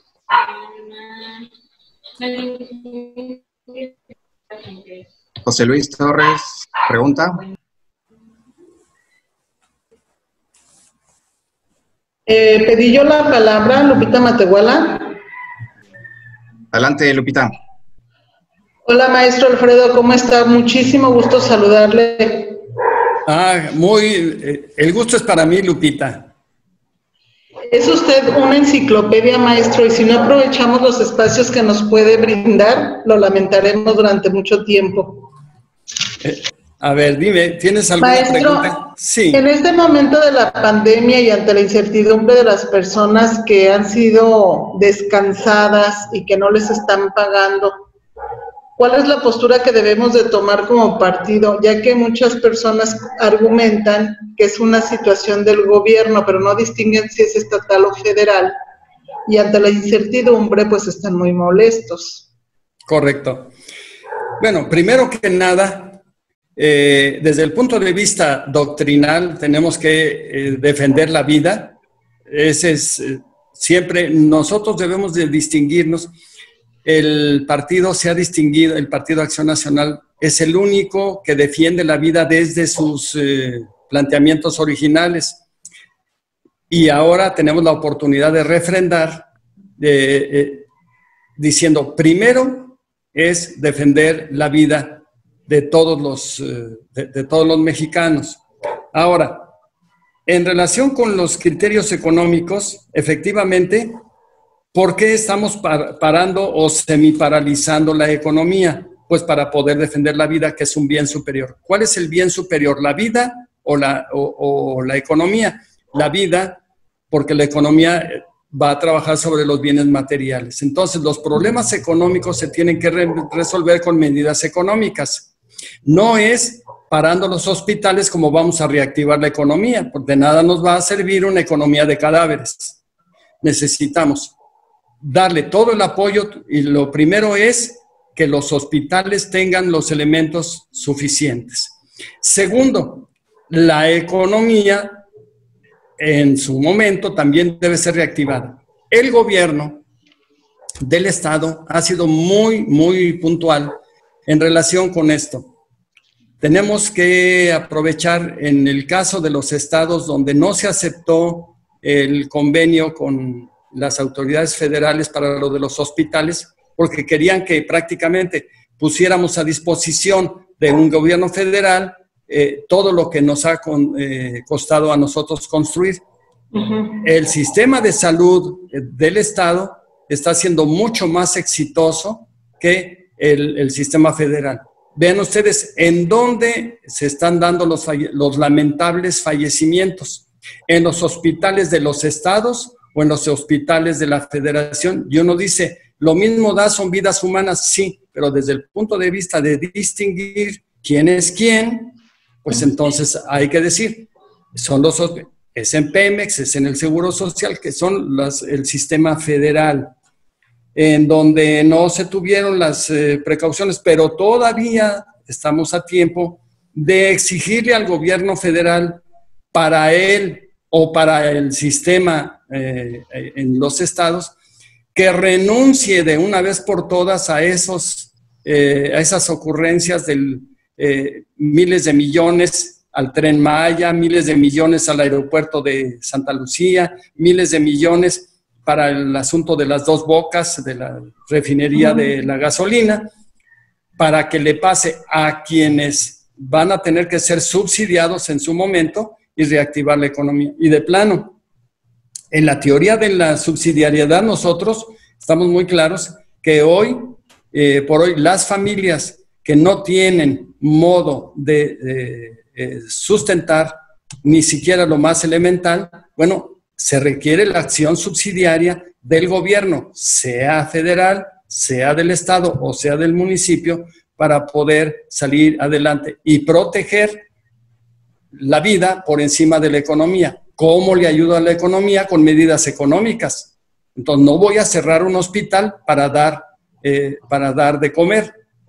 Eh, tengo que reforzar primero el hospital y renunciar a esos proyectos superfluos que eh, desde luego en el caso del gobierno federal están perfectamente ubicados. Es, siempre ha sido un reto, Lupita, el cómo hacer para platicar con los ciudadanos, al ciudadano lo que le importa. El gobierno es el que tiene la culpa, espérame. Aquí afortunadamente está muy claro cuál es la, eh, postura del eh, gobierno federal en relación con, los otros gobiernos. Y el gobierno federal, a final de cuentas, va a tener un saldo o para bien o para mal eh, respecto de la pandemia. Eh, allí hay que seguir midiendo, hay que seguir haciendo las encuestas, pero no es por eso por lo que tenemos nosotros que actuar, sino, eh, primero que nada, salvar vidas. Y el reto es hacer nuestra verdad eficaz. Nosotros somos muy buenos para poner el huevo y somos muy malos para cacarearlo. Esto, ¿qué quiere decir? Aplicado con el tema que acabamos de ver, que siempre hemos tenido la verdad, pero ineficaz. No la sabemos predicar adecuadamente. Entonces necesitamos que nuestra verdad... sea, en las respuestas? Sea más eficaz. ¿Mande? Eh, si es que se pierde. O sea, ya de rato, ya no sabes ni de lo que está. A ver. Le agradezco mucho, maestro. Ha sido muy extensa y clara la información. Le mando un abrazo y un placer saludarle por este medio. Muchas gracias, Lupita Matehuala. Eh, le damos la palabra a José Luis Torres. Eh, León, adelante, José Luis. Hola, licenciado. Muy buenas tardes. Eh, como siempre, un placer escucharlo. Eh, Gracias, José Luis. siempre, es, siempre es un aprendizaje muy ameno. La pregunta aquí es, ¿el liderazgo humanista cómo se entiende en estos tiempos de pandemia? ¿A qué me refiero? A no echarnos la bolita entre las personas. A saber a que se vienen posibles despidos y, y el patrón está en la encrucijada de, de, pues sí, pues me voy a ver muy humanista, pero o, te bajo el salario o te corro. Y cómo podemos ap- aportar nosotros como sociedad, como institución, en estos tiempos de pandemia, pero sin dar despensas. Primer elemento, el, el humanismo debe de estar en la convicción de la persona, no puede ser algo impuesto. El, el el- el empresario, claro, mira, el, el empresario que no está convencido de su, su vocación y su misión como empresario, no va a ayudar a sus trabajadores. Aquí es donde se van a poner a prueba esos liderazgos empresariales que estaban solamente por el, el producto y la ganancia, en lugar de hacer de las empresas una comunidad de familia. 39. El empresario está entonces en una encrucijada ciertamente, pero el peor salario es el que no existe ¿eh? y es preferible que sobrevivan las empresas, aunque sea con un salario exiguo, a que de plano cierren las empresas. Abrir una empresa es una, es una cuestión titánica, no es nada fácil. Que se mantenga con un salario, aun cuando sea castigado, pero que haya por lo menos para los frijolitos en la mesa de ese trabajador, por lo menos para los frijolitos, porque lo peor sería cerrar la empresa y recibir una liquidación, no van a volver a abrir esas empresas. Entonces, el esfuerzo que se está haciendo en Guanajuato es eh, castigar eh, un poquito al, eh, a los trabajadores, pero para no cerrar la empresa, definitivamente. Y desde luego, no es el llegar a dar despensas por darlas. En este caso sí se justifica que haya, de acuerdo con los padrones en gobierno del Estado, pues ahí tienes una secretaría que tiene un padrón perfectamente identificado de quiénes son los que realmente necesitan y, que pueden ser eh, apoyados hasta donde los recursos eh, eh, puedan subsidiar. No es asistencialismo. En este caso estamos aplicando el principio de subsidiariedad. En el momento que termine la contingencia, en ese momento se levanta la acción subsidiaria para entrar a otro tipo de, eh, de apoyos. Ese sería mi comentario, José Luis. Muchas gracias, maestro. Muchas gracias, José Luis. Eh, le damos la palabra a Lourdes Ramírez, por favor, adelante. Sí, muchas gracias. Muchas gracias, maestro, por tu compartir de mucha reflexión, mucha sensibilidad y capitalizamos toda esta tu experiencia. Te agradezco. A mí me gustaría que me fortalecieras un poquito más en conocer cómo ahorita en esta situación y en este momento el líder humanista puede desarrollar más como su enfo- enfoque al crecimiento moral, espiritual y intelectual a él y a sus colaboradores, sobre todo en este periodo en que estamos en un- una cuestión de mucho materialismo y de muchas redes sociales que nos desvirtúan todos los valores y todos los enfoques humanistas que nos has dado. ¿Cómo podemos contraponerlo? A ver, yo creo que aquí tenemos un área de oportunidad muy, muy interesante porque tenemos tiempo. Y, muchas veces lo que nos ha faltado para poder hacer reflexiones es tiempo. Eh, todos nos encontramos que no, no hayamos qué hacer con tanto tiempo. Eh, y, y bueno, lo primero, eh, alguien decía, para poder administrar el tiempo, primero necesito darme cuenta de que lo tengo. Ahora nos damos cuenta que lo, eh, que lo tenemos. Aquí el líder humanista tiene una oportunidad, primero que nada, en el seno de su casa, con su familia, decir, aquí vamos a aprovechar para reconocernos, porque muchas familias estaban mm, eh, pues sin el tiempo suficiente para poder platicar, Y ahora tenemos esa oportunidad. Primera oportunidad, líder humanista, a retomar su, tema familiar, a reconducir sus relaciones familiares. Esa es una oportunidad que todos tenemos, no importa si seamos maestros, si seamos eh, ingenieros, si seamos empresarios o no empresarios, es decir, a platicar más con la familia. Segundo, aprender, mira, ahora estamos aprendiendo a usar las, eh, no las redes sociales, sino la intercomunicación digital y, podemos, y podemos acercarnos a través de estos medios. Es otra oportunidad. Los líderes humanistas necesitamos mejorar nuestra comunicación. Somos muy malos para comunicarnos. Y en ese sentido, bueno, hay que poner en orden nuestros eh, grupos, nuestras listas de distribución, eh, ser mejores comunicadores, distinguir los eh, mensajes que valen la pena de los que no. en tercer lugar, no podemos salir a la calle, pero sí desde la casa podemos aprovechar esos, estas redes sociales para poner los mensajes que, donde se debe. Otro tema, el líder humanista bien informado va a ser mucho más eh, eficaz que el líder que no está bien informado. ¿Qué tenemos que hacer? Entrar a las páginas oficiales, no dejarnos llevar por la, ni por el rumor, ni, por, y mucho menos por las mentiras. Así es que tenemos varias áreas de oportunidad que yo creo que el líder humanista, sin, eh, eh, sin menoscabo de todas las actividades que puede seguir haciendo, sí tiene oportunidad de retomar. Así es que líderes mejor informados para poder impactar más directamente en nuestra sociedad. Es mi comentario de pronto. Muchas gracias por la aportación. Buena tarde.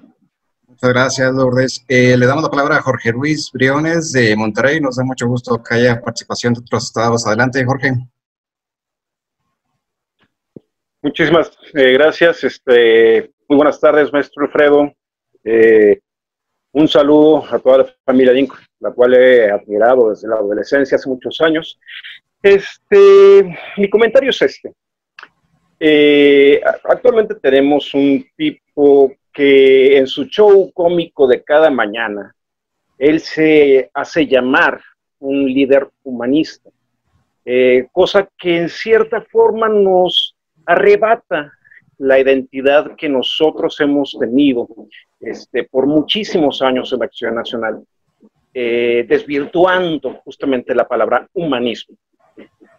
¿Cómo, más, más bien dicho, eh, qué sugerirías, maestro, este, para poder contrarrestar justamente este tipo de, de, situación en la que no podemos decirnos nosotros humanistas porque el que tiene el reflector se hace llamar humanista y sin embargo está haciendo las cosas ahora sí que de la patada. Ok.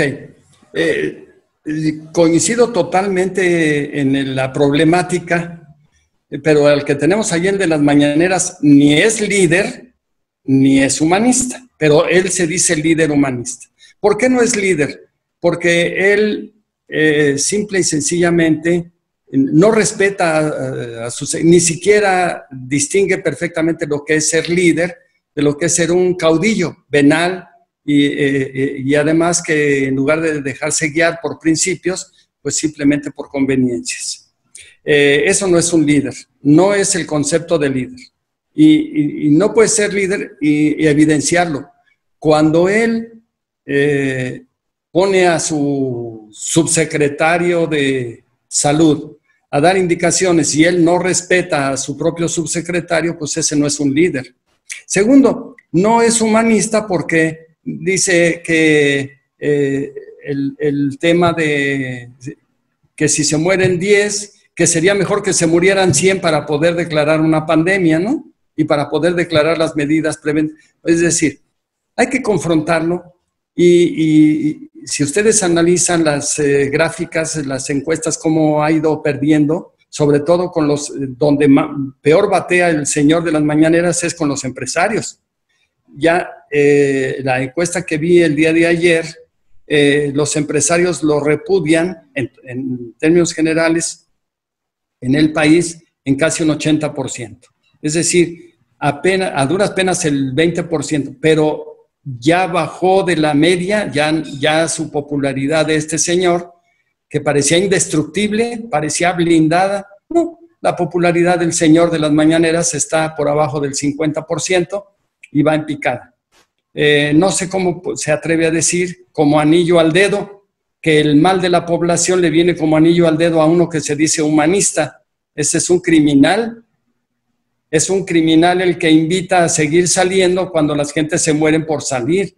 Eh, entonces, la problemática, como dices, mm, ¿cómo eh, competir por el vocablo humanista y por el vocablo líder con alguien que tiene los micrófonos a, todas, a todas horas y todos los días? ¿Cómo competir? Pues necesitamos nosotros mejorar nuestra comunicación eficaz y ser muy precisos. El Señor no es humanista, el Señor es un criminal. Es decir, eh, tendríamos que hacer un ejercicio de comunicación un poquito más certera, pero lo que no podemos hacer es renunciar a lo que nosotros sí consideramos que es un líder humanista.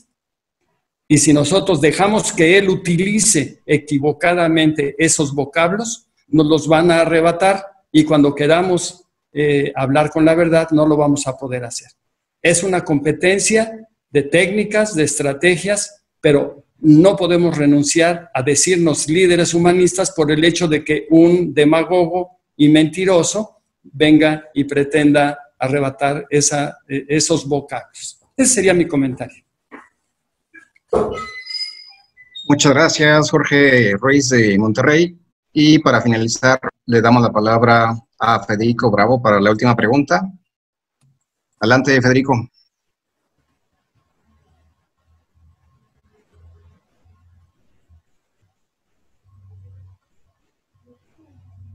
Parece que no, no hace la pregunta. Entonces, le daríamos la palabra al licenciado.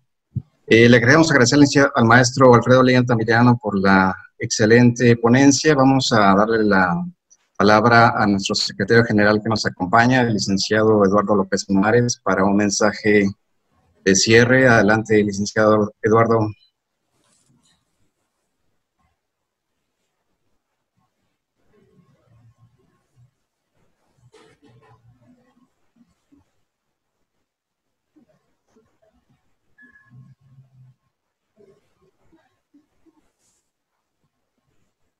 Entra la, el mensaje. Listo, acaba de volver a entrar a la sala el licenciado López Mares para poder darle la palabra.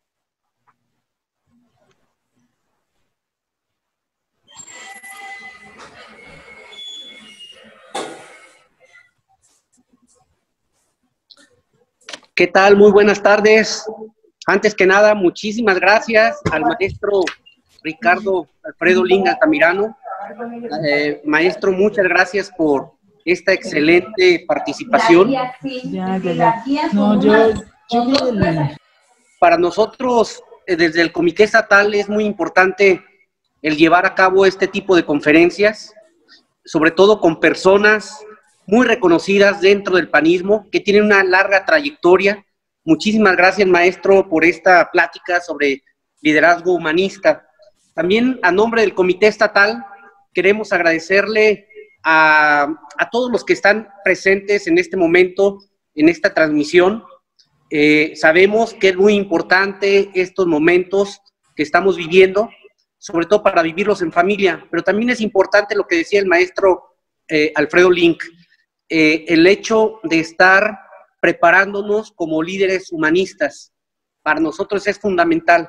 Y por supuesto, no puedo dejar de agradecer a, pues, al, creador de este tipo de videoconferencias, al licenciado Salomón Ceballos. Muchísimas gracias, Salomón. Eh, ojalá puedas hacer extensivo nuestro reconocimiento desde el estatal a ti y a todos los, a la gente que te apoyan, eh, que por aquí veo a este eh, Ricardo, Ricardo Kuhn, veo también al maestro Vasallo y bueno, a varias personas que, te están apoyando en estas, en estas tareas. Yo quiero también, eh, a nombre del presidente del Comité Estatal, el licenciado Román Cifuentes, eh, agradecer el esfuerzo que todos estamos haciendo o que todos están haciendo, pero sobre todo que tomemos la palabra y el mensaje del maestro Alfredo Link. Yo creo que es importante que no dejemos de luchar, que seamos eh, forjadores y portadores de esperanza, como él bien lo señalaba, que es importante, eh, el día de ayer se cumplió un año más del, de fallecimiento de nuestro fundador, Gómez Morín, y unas palabras que también mencionaba el maestro ponente, eh, Ricardo Alfredo Lina Altamirano, es que es momento de acción. Como líderes, retomemos eso. Como líderes humanistas, eh, frente a una eh, situación que estamos pasando muy lamentable por malas decisiones de gobiernos federales, que se acumula a decisiones a nivel mundial también que se están generando, que nosotros retomemos esa mística panista esas habilidades para ser eh, líderes humanistas.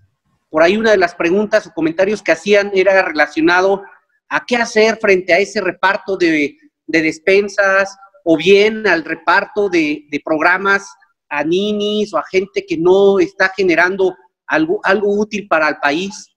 Y, la, respuesta del maestro Link, muy afortunada fue, y muy, muy oportuna, perdón, es de que tengamos esas características, esas habilidades de líder eh, humanista. Yo quiero eh, invitarlos a que retomemos lo que decía eh, el fundador de Acción Nacional. Es momento de acción, es momento de actuar. acción Nacional es un partido que se creó que no solamente con carácter pasajero, y él lo señalaba, es una organización permanente y activa. Esto es lo que tenemos que hacer. Yo quiero finalmente, aparte de agradecerles, señalar dos cosas, hacer dos invitaciones. La primera, invitar a que nos acompañen a las siguientes sesiones que se van a llevar a cabo el día de mañana, que va a ser el de identidad y mística con el maestro Ricardo Morales Kuhn. El miércoles, comunicación política con el maestro René Mondragón. Y el jueves, con el licenciado Ramírez eh, Alejandro, con diseño de políticas públicas. El viernes finalmente liderazgo y redes de gobernanza, con, también con el maestro Mondragón. Y la segunda invitación es a que ejerzamos ese liderazgo. Estamos pasando crisis complicadas en nuestro país, ya lo refería el maestro Link, eh, la crisis de salud, pero también estamos pasando crisis económicas. Eh, eh, el día de hoy, por ejemplo, el barril de petróleo bajó considerablemente, más del 30%. Eh, estamos hablando que se colapsó, el precio del barril anda, oscila entre los 25 a 20 a 25 dólares, y eso va a redituar en una complicación económica muy vulnerable para, para todos.